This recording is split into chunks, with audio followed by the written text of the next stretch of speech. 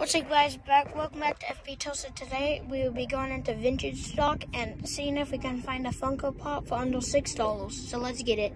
Okay, so we're here and I'm just walking there and I'll be there in like five minutes. So Okay, so I'm in vintage stock. I'm just walking around right now and I'll keep you all updated when I find it. So I found a Deku but it's not six bucks, so I can't get it, but I'm pissed off now. Okay, I found one of the cheap ones. I make sure the employees don't see me it has to be in the box. So there's three, there's a three dollar one, but I don't really want Star Wars. And there's like a seven. Hmm. I'm just gonna have to find something. I'm gonna check prices real quick. And yeah, I'll get back to you. Okay, so I didn't find anything good over there. The only thing I had is Star Wars. And I'm not into that, so I'm looking at here right now.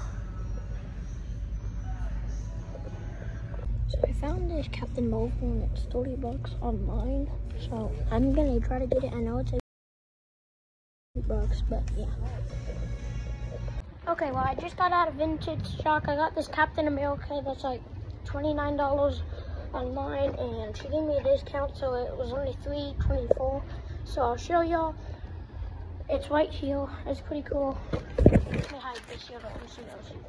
It's pretty sick. So thank you guys for watching. I'll see you next one.